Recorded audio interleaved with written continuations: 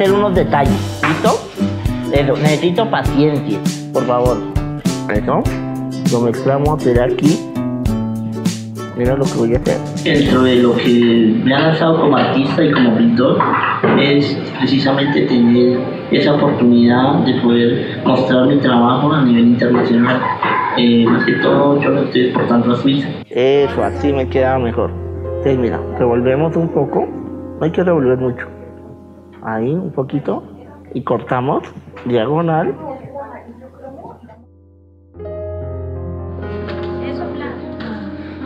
Mi técnica es óleo sobre lienzo. Y dentro de esa técnica manejo muchos estilos. Entonces, uno de los estilos es paisajismo. Son como los estilos que más estoy manejando en el momento. He pintado el cuadro más grande que en estos momentos hay en Sudamérica, pintado con la boca. Tiene 3 metros de largo o 2.5 de alto.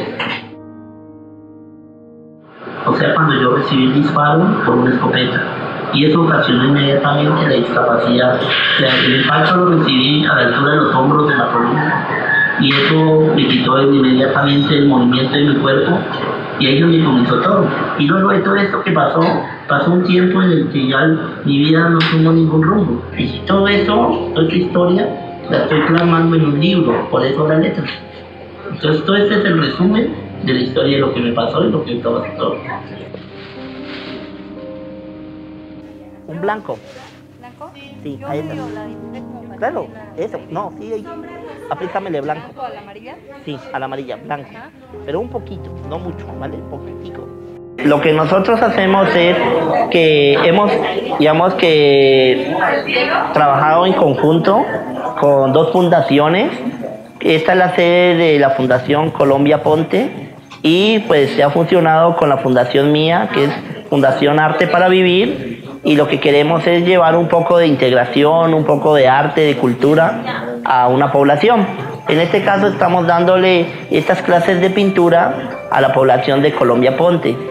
Y pues nos ha parecido un trabajo muy bonito el que hemos realizando, ya que las personas que están acá pues no habían tenido como esa experiencia en técnicas en óleo, ni mucho menos pues habían podido llegar a realizar algún cuadro anteriormente, pero igual los trabajos que vienen realizando son muy buenos.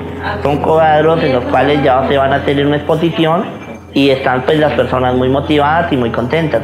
Lo que nosotros llevamos con las clases es darles algo muy básico, ¿no? Pero a la vez muy sencillo y muy práctico, pero que igual ellas vayan aprendiendo, ya que un segundo, un tercer y un cuarto cuadro, ellos ya vayan teniendo un conocimiento y ya los puedan hacer solas o solos. Entendí que Dios no era injusto conmigo, sino al contrario, que me había escogido para poder ser que me quitó el movimiento de mi cuerpo, pero que cambió esos talentos habilidades.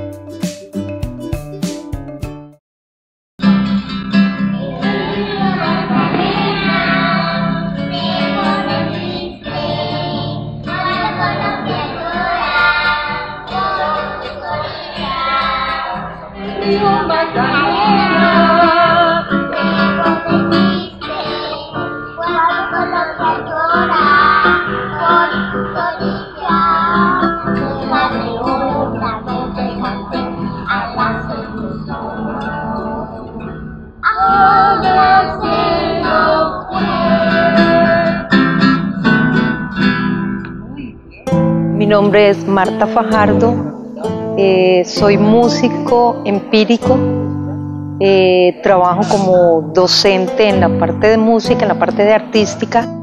Eh, me gusta mucho mi trabajo porque es una forma de dar mis conocimientos a los niños. A ver, a nivel musical tengo la fortuna de haber participado en 14 festivales a nivel nacional por el departamento del Cauca. Orgullosísima de ser caucana. Eh, mis inicios empezaron apoyadas siempre por mi madre, quien fue la persona que hizo quien soy en este momento. La parte musical siempre me ha llenado. ¿Por qué razón? Porque el ser intérprete, tanto vocal como instrumental, me ha formado. Eh, siempre he dicho que la discapacidad no está en lo físico, sino en la mente.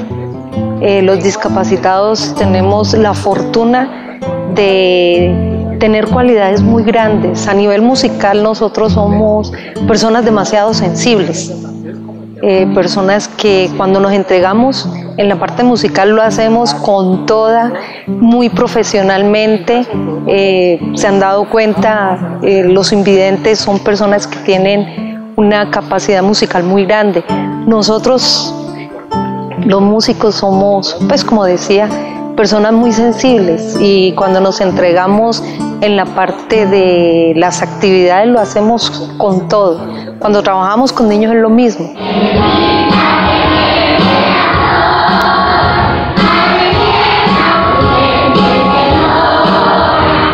Eh, nosotros somos 12 hijos, de los cuales 10 cantamos cada uno tiene su estilo propio. Eh, a nivel familiar, por, el, por parte de mi mamá y de mi papá, somos solamente nosotros los músicos. Eh, y quien me dio el empujón, quien siempre estuvo conmigo y que ahora me hace falta es mi madre, porque ella fue la impulsora y quien hizo en ese, es decir, hasta este momento lo que yo soy.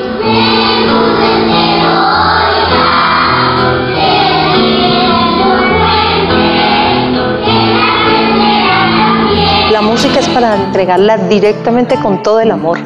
Eh, mis alumnos a veces son un poquito chistosos, digámoslo así, porque ellos muchas veces me ven entrar con bastón eh, o me ven con un aparato que utilizo y ellos es, profe, ¿qué te pasó? Entonces yo trato como muy musicalmente de explicarles las cosas. Con una canción les estoy diciendo, no, mira, esto es así, así, y el trabajo que hacemos es muy bonito.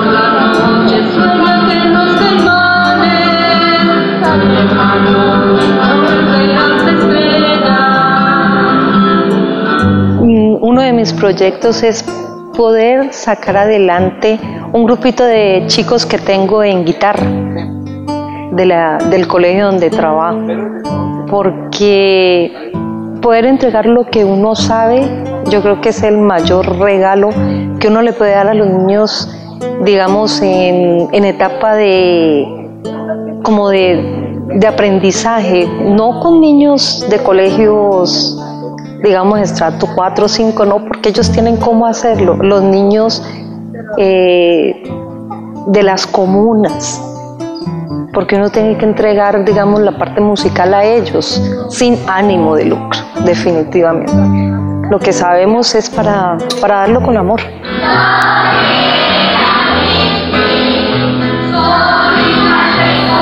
los sueños se alcanzan. Es simplemente lucharlos y saberlos eh, ubicar. Eh, la discapacidad, como te digo, no está en un cuerpo, la discapacidad está en la mente.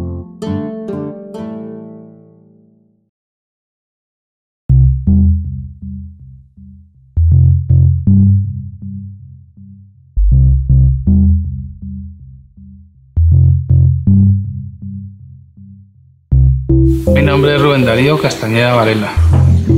Soy una persona con discapacidad. Por términos de, un atraco, me salió la persona y me hizo un daño terminal. Quedé con, quedé con mucho dolor en la columna, la bala quedó incrustada en la columna a un lado. Eh, se afectaron psicológicamente, ellos como mis hermanos, mis hermanas. Pero ya cada uno, cada uno haciendo una vida diferente aparte, pues era difícil la situación. Eh, me enseñó un hermano a, hacer eh, el arte del, calzado de guarnecida en cuero, en plástico, en tela. Fui a muchas fábricas, empresas. Y hoy en día se me ha dado pues la oportunidad de hacer a mano lo que podemos, lo que podemos ver. Y pues me gusta es hacer toda la etapa, desde que lo hago hasta que lo entrego al cliente.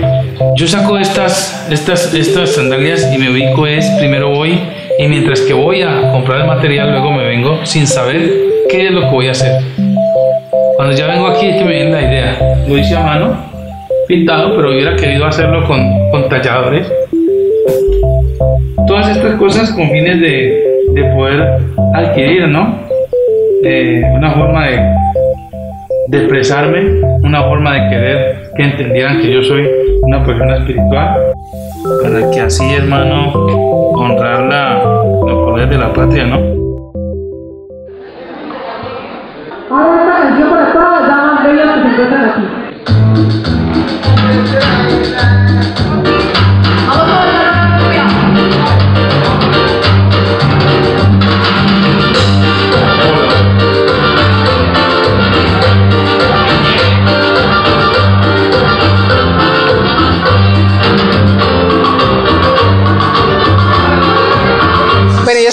María Consuelo Uribe Popayán, nacida en Popayán, a mucho honor.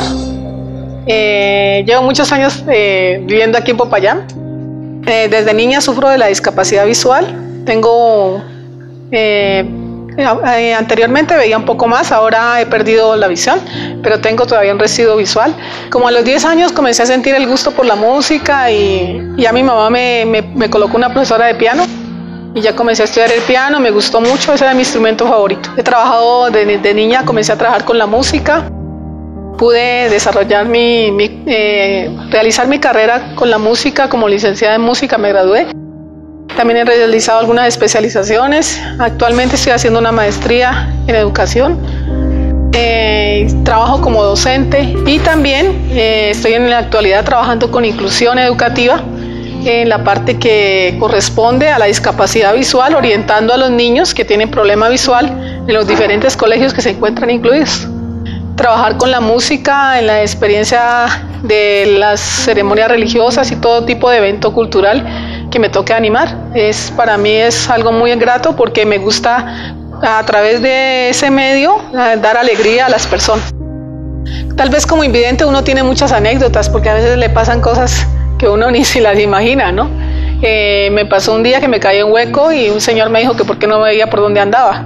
Bueno, el proyecto pues ahorita actual es graduarme como, como magíster y mm, también seguir proyectándome en la sociedad con, la, con el arte, seguir dando alegría a la gente y también me gusta mucho la composición, que esa es otra de mis, de mis debilidades. Pues un mensaje pues para la gente que de pronto tiene alguna discapacidad, que siga adelante, que no se deje, mm, no se deje embarcar por la tristeza, que hay que seguir adelante.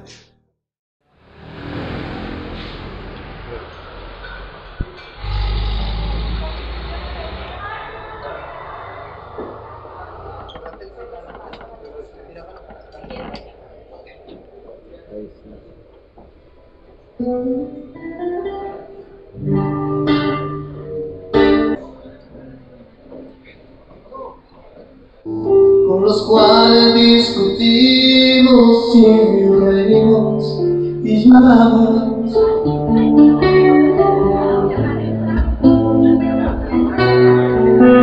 Soy John Jairo Flores, cantautor colombiano. Eh, nací en la ciudad de Popayán. Eh, a los dos años me dio mm, polio. Es una enfermedad que pues, ataca en todo el cuerpo. Quedé totalmente paralizado. Solo movía la cabeza. Eso es lo que cuenta mi madre, que a los dos años eh, me dio una fiebre muy alta y, y fue esta enfermedad que fue que me puso así.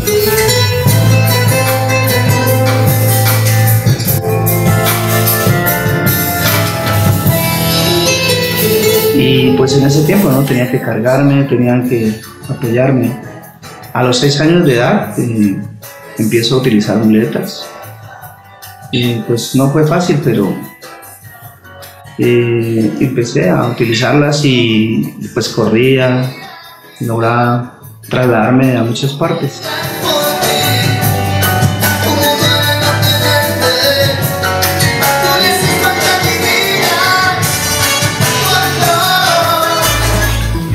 Recuerdo un 24 de diciembre cuando despierto, es Navidad, y veo aquí esa guitarra color naranja.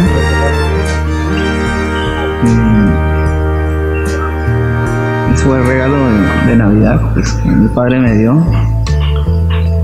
Y ahí empezó todo.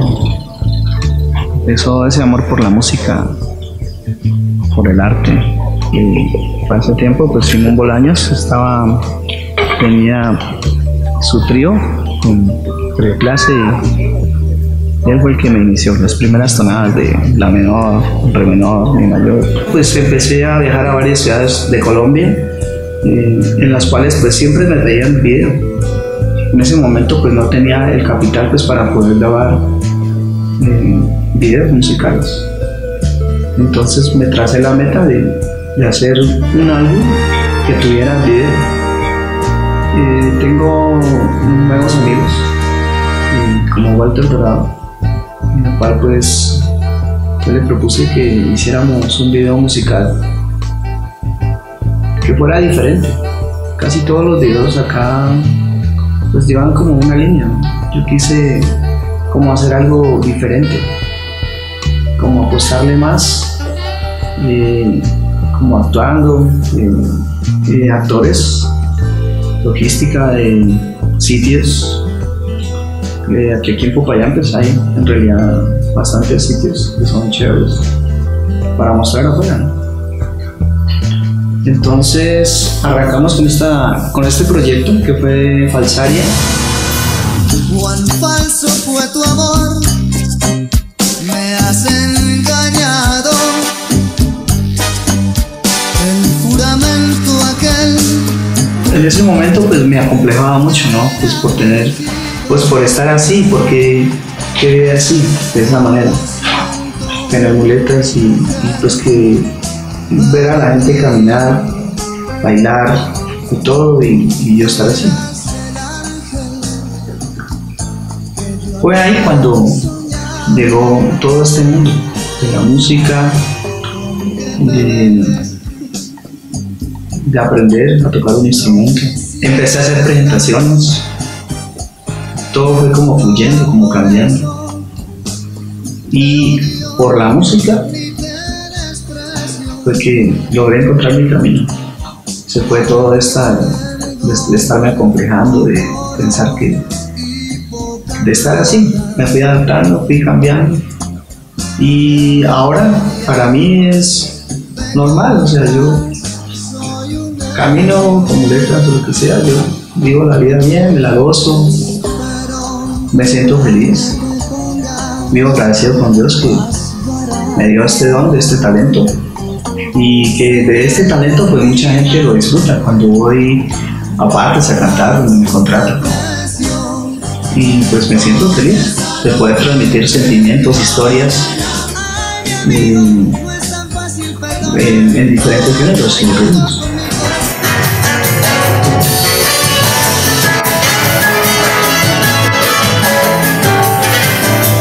El transcurso de las cosas que he vivido, he comprendido que el éxito en la vida no se mide por lo que logras, sino por los obstáculos que superas.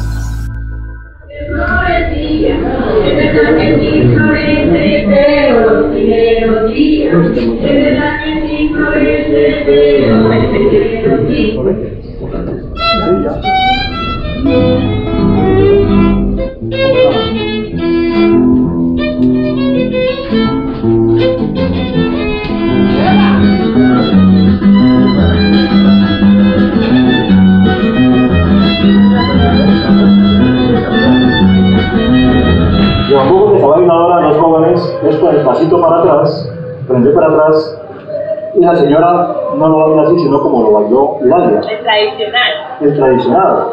Entonces dijimos, bueno, ese paso para atrás, ¿cómo? ¿Y en qué momento? Puede ser de lado. Entonces el primero fue del Pacífico.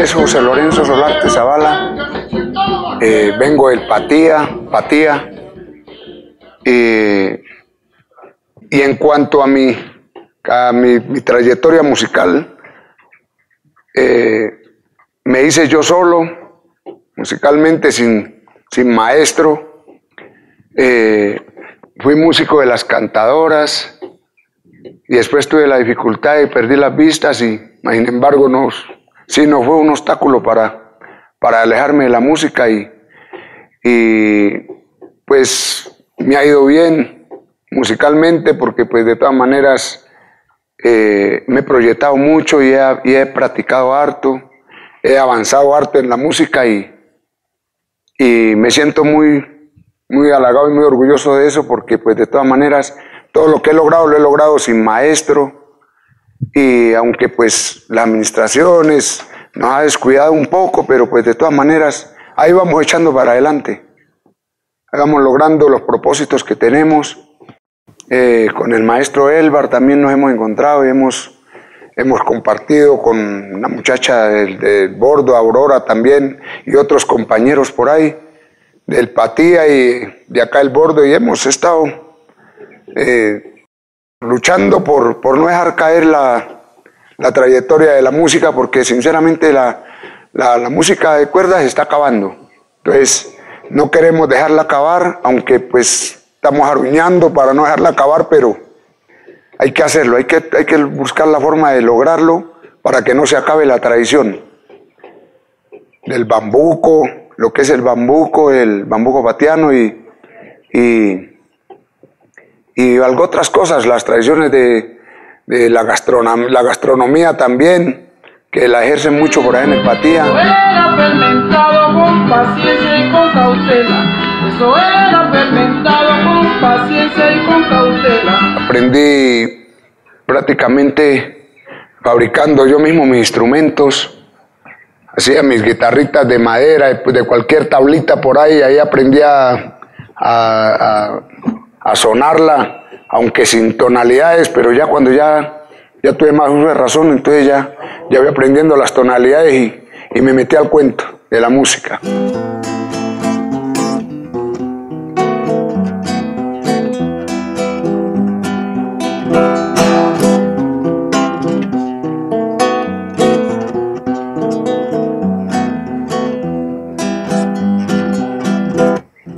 Quiero dejarle a los, a, los muchachos eh, una, una recomendación que, que no se alejen de la música, que esto es algo que, que nos, nos, nos lleva por un camino derecho.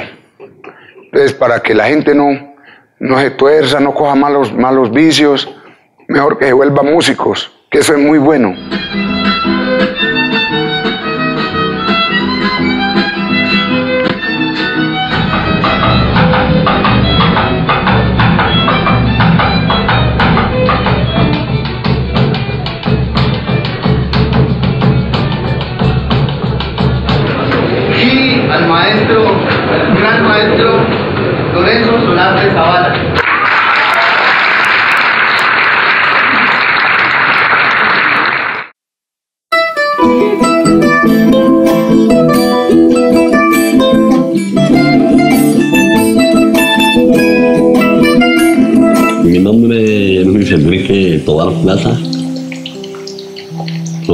Tengo 54 años.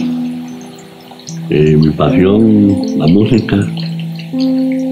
De toda mi vida, desde niño, quería ser cantante, fue mi sueño. Un sueño que, que después vi frustrado. Porque pues ya cuando uno crece se burlan cosas de esas que pues yo no sabía que tenía mi defecto y, y lo tenía y entonces ya cuando, cuando me di cuenta yo empecé a cantar y no, pues, obviamente no, no lo podía hacer. Y entonces se, frus- se frustró ese sueño, pero sin embargo empecé a ir con la música desde muy niño a los seis años. armé una chirimía, una chirimía con unos, algunos primos, unos amiguitos. Y salíamos a la calle a tocar y, y ahí empecé pues el arte de la música. Poco a poco después mm, empecé a, a trabajar la guitarra, la bandola de una manera totalmente empírica. Sino que un día me sucedió algo pues, bueno y malo. Me- un cabrón me atropelló y pierdo este brazo. El médico me dijo que no podía volver a tocar guitarra y nada que el brazo me iba a quedar tieso. Y pues ese día entendí todo lo que yo quería mi bandona, la guitarra, la música. Y ante todos los pronósticos médicos, me empecé a hacer a tocar otra vez y lo todos los días hasta que pude volver a tocar. Y hoy en día, ¿no?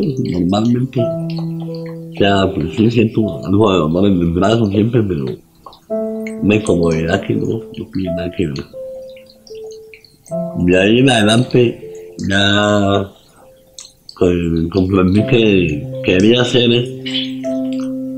un músico pues, más, más profesional, llamémoslo así. Entonces ya la música la cogí en serio y dándole un enfoque hacia la sociedad para hacer algo con la música, o sea, que realmente dejan un legado de, de amor, de cariño para ligado con la música y dar ejemplo la, a la humanidad. Entonces, pues tuve la fortuna de conocer a unos maestros, el maestro Paz, Andrea Cotillo y, y otros amigos de Felipe Vivas.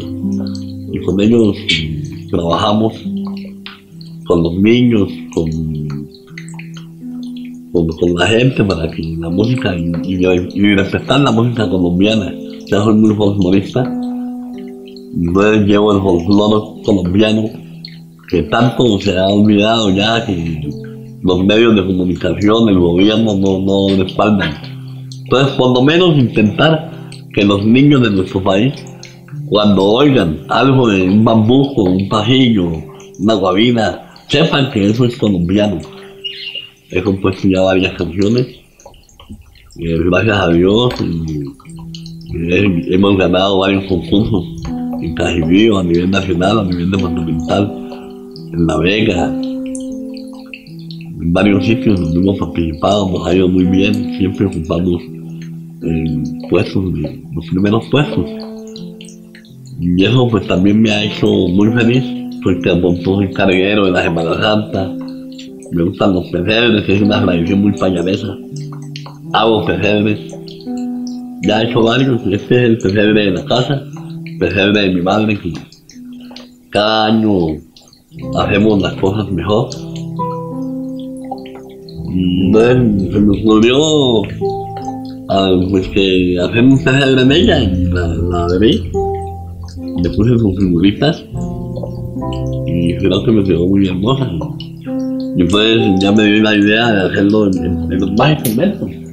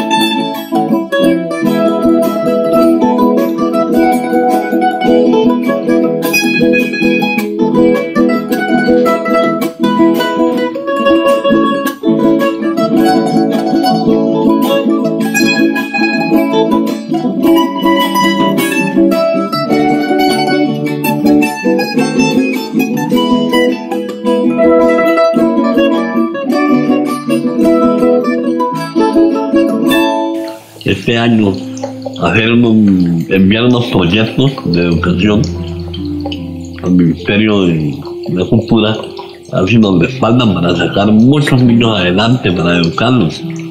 O sea, hacer algo realmente importante en el Cauca, para que, para que nuestro legado se refleje en, la- comunidad. Y ella es la fuente de esta casa. Ella, soy para ella todo. Ella lo es todo para mí. Lo mismo para mí, él es todo para aquí. En esta casa es el jefe, el que sabe, el que te manda, el que todo dirige. Él es una bella persona, sabe muchas cosas. Ella dice que yo soy muy lindo. Muy lindo para mí, muy lindo. Mi nombre es Carlos Alberto Rivas Guerrero. Soy músico, nacido en el municipio de Mercaderes. Tengo 39 años. Mi vida con la música comienza desde muy niño. Me la pasaba por ahí tarareando canciones, obviamente. En esa época no. No me sabía una completa, pero algún corito o algo así. Me gustaba mucho la chirimía. Y allí entonces ya con la ayuda de un profesor que ha sido una persona muy importante para mí en mi vida, alguien a quien pues quiero muchísimo, quiso que participáramos de, del concurso de villancicos y ahí comenzó todo. Él me puso a cantar y a tocar tambora, que era lo que yo eh, imitaba en la mesa de la cocina. Ese ejercicio de, de- grupo musical eh, del salón para participar en, en el concurso de villancicos fue creciendo hasta que se volvió una chirimía, que fue nuestra primera chirimía que se llamó la chirimía Sangandinga. Y eso pues con, con los años se nos volvió de alguna forma pues un estilo de vida. Pues me di cuenta que, que la música me había dado una segunda oportunidad en la vida. Eh, yo soy muy creyente y entonces entiendo que esa fue la forma en la que Dios pues vino nuevamente a, a ofrecerme esa oportunidad por medio de la música.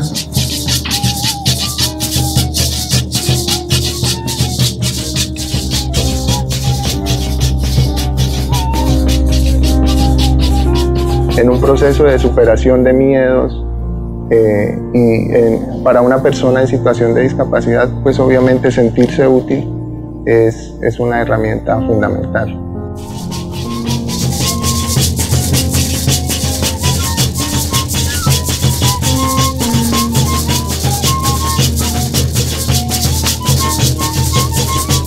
De ahí para allá pues decidí estudiar música y pues esto ha sido todo un camino largo.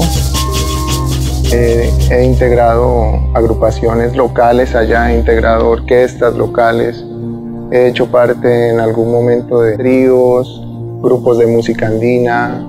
Eh, ha sido un ejercicio que desde lo personal planteé hace muchos años y es que yo siempre supe que localmente se producía mucha música, en Mercaderes se produce mucha música. A mí me parece pues que definitivamente es algo que genera esperanza. En algún momento llegué a, a, bajar pues digamos el ánimo al punto de, querer desistir de, de- de la música tiene que ver mucho, obviamente, tanta barrera que te pone la, la- vida frente al tema de discapacidad. Y también ha sido para mí muy relevante que Dios ha puesto en mi camino mucha gente, tengo cantidad de amigos y yo lo puedo decir, tengo muchísimos amigos y muy buenos amigos. O sea, yo hablo como músico, entonces entiendo la música como una herramienta importantísima para generar paz, como una herramienta importantísima en la que se debe pensar. Soñando con la posibilidad de que en algún momento pudiéramos consolidarnos como caucanos, que aprendamos a, sentirnos parte del territorio, que aprendamos a, identificarnos dentro de él, porque definitivamente cuando uno se siente parte de algo, aprende a quererlo.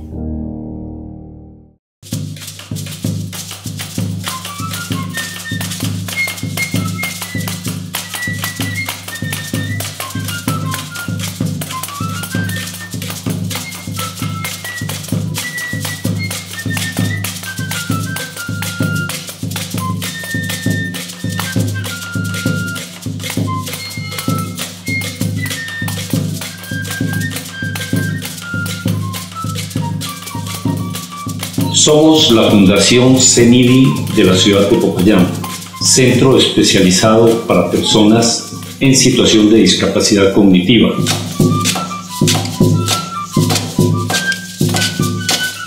Mi nombre es Enrique Valencia Pajuri, cofundador de esta organización hace 35 años y en este momento me desempeño como asesor del convenio con Bienestar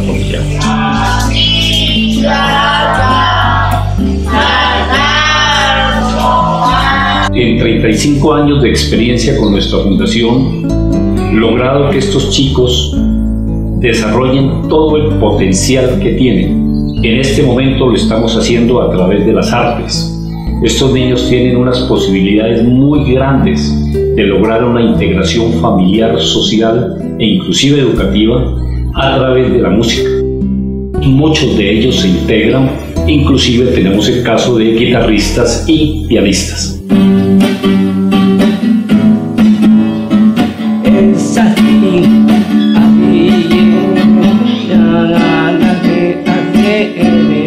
Que buscamos es que ellos desarrollen su inteligencia. Y la parte de música es muy importante para ellos. A ellos les fascina, les encanta el baile, les encanta las presentaciones.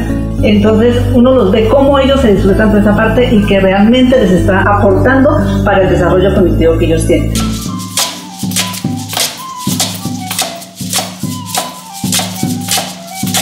Mi nombre es Alba Iria Collazo Miranda y yo soy la directora y representante legal de la Fundación desde hace cinco años.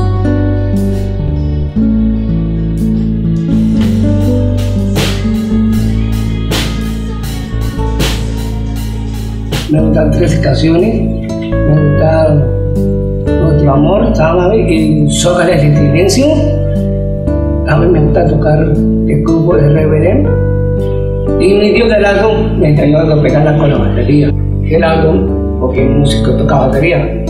Él él, él me enseñó por pegar la batería.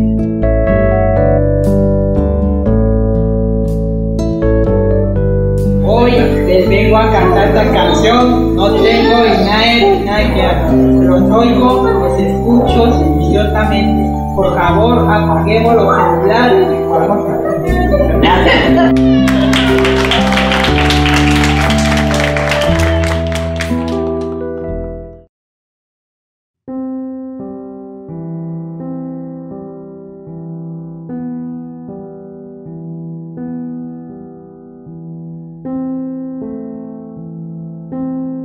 Mi nombre es Jorge Eliezer Portilla López, trabajo en cerámica, tengo una limitación física por, por heridas de bala. Mm, Empecé a trabajar en la cerámica después de siete años de depresión, como digo. Por casualidad, para unos estudiantes, empezamos a hacer partes del cuerpo humano en, en cerámica y pues ese trabajo se dio, lo conoció una religiosa de Berta de nombre Berta Martínez. Ella lo dio a conocer a Artesanías de Colombia, resultó ser una de las mejores obras en, cerámica del país y a partir de ahí me dotaron de, materiales de trabajo y fue mi inicio en, la cerámica. Ahí me especialicé hasta, hasta formar figuras completas. Y hemos ido evolucionando a, hacia otras técnicas eso nos ha llevado a tener eh, reconocimientos por parte de, principalmente del, Ministerio de, de, Desarrollo en su tiempo, en compañía de, de, familias y gente que le hemos enseñado, gente que nos enseña también eh, la cuestión de carnavales.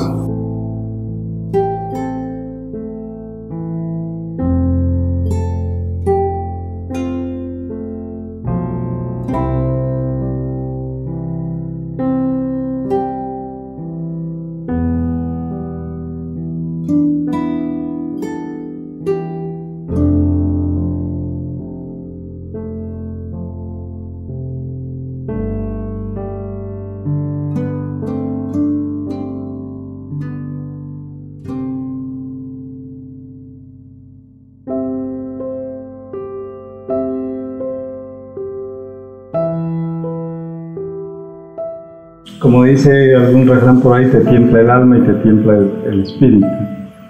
Esto es muy difícil, manejar una situación de discapacidad y más en, en, términos de la población como la que vivimos, que es totalmente inadecuada para las personas eh, en condición de, discapacidad y más si se maneja en una silla de ruedas. Entonces, te obliga a superar todos los obstáculos. Primero, el, psicológico en ti de cambiar de vida.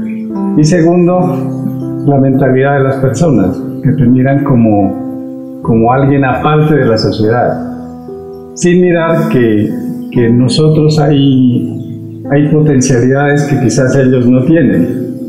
En el caso mío, en el caso de, de lo artístico, pues eso he llegado a, a niveles que muchas personas desearían hacerlo en condiciones normales.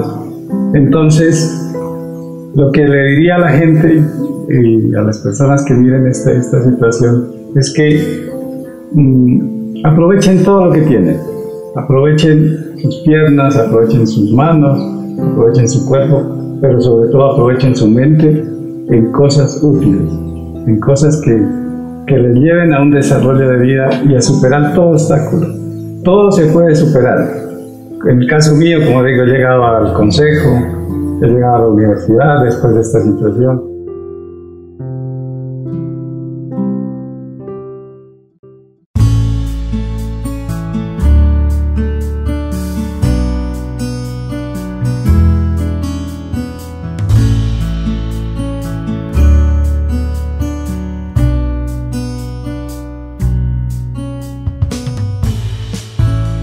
Mi nombre es René Barona Urbano, eh, soy de este contexto, inicialmente en la Comuna 7, hoy día vivo en la Comuna 8, en el barrio San José, me crié aquí a la vuelta en el barrio La Conquista. Y pues esta es una universidad, este es el contexto que me ha forjado y me ha creado una visión como tal. Y paralelo a eso pues pude acceder a la educación superior, gracias a Dios pasé a la Universidad del Cauca en la cual me, hace unos meses me gradué como maestro en artes plásticas y dentro de ese ejercicio soy videoartista, performático y pues incurro en la fotografía también. Eh, también he en, la cinematografía, es una gran pasión que, estoy logrando. En el 2011 me gané un premio India Catalina a Mejor Videoarte en el Festival de Cine. Viajar a Edo así, con la sorpresa de la vida, de Dios. Luego me gano en el mismo año el Premio Nacional al Artista Destacado por mi cultura. Paralelo a eso me gano mi tercer premio, que es, el, es un premio regional por Comunarte a Mejor Agrupación Musical. Posterior a eso hicimos una película que se llama Nuestro Silencio con un grupo de amigos de acá, pues que, que de acá de Popayán, ¿no? y pudimos ya sacar la película y nos hemos ganado un par de premios, Premio Internacional a Mejor Película por su modelo de producción. Hora y media, tres horas. Ah, se, ha, ido a, a Bogotá, conoce Pasto, la silla de ruedas, varias veces ha ido. Hago trabajo social, trabajo social digo yo que de verdad porque no es desde hoy día desde una corporación, sino desde, desde la acción propia con el otro, ¿no? con el otro que habita en este lugar que, que realmente necesita como un poco más de, de información, digámoslo así. Acabo de salir de un proyecto que, que era ser concejal de la ciudad municipal. Un proyecto que no logra darse, pero que me deja una riqueza infinita y sigo soñando con lugares interdisciplinarios, multidisciplinarios, recíprocos, incluyentes y totalmente gratuitos, ¿no? Llámese en centros culturales o casas de cultura o como se les quiera llamar realmente. Lo que quiero es que sean lugares donde pueda entrar un abogado, un médico, la ama de casa, el habitante de la calle, sí, mi hermano, yo, y es eso, venir a, dejar un poquito esa posibilidad de, de, se puede, se puede con un estado positivo, una sonrisa y todo bien, y vamos pues, un poco como para el ejercicio con mis hijos, ¿no? Porque como soy padre, entonces debo ya pensar en la universidad de mi hija que también se acaba de graduar, son como varias cosas de la realidad, y eso me detiene un poco con el sueño cinematográfico, pero que va, me verán ahí en mi, en mi segunda película, que confiando en Dios voy a codirigir, porque así se ha arreglado, y voy a protagonizar, y sería mi segunda película protagonizada dentro de todos los ejercicios del videoarte, que casi todos soy yo quien los protagoniza. ¿no? Al barrio El Mirador, uh, de Popayán. ¡Eh! Y de paso, a mi corporación que hace posible que sigamos soñando, creando y ganando espacios, demostrando que hay mucho por dar.